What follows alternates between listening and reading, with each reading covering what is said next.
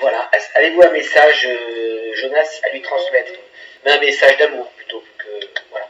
Vous avez quelque chose à lui dire? Merci.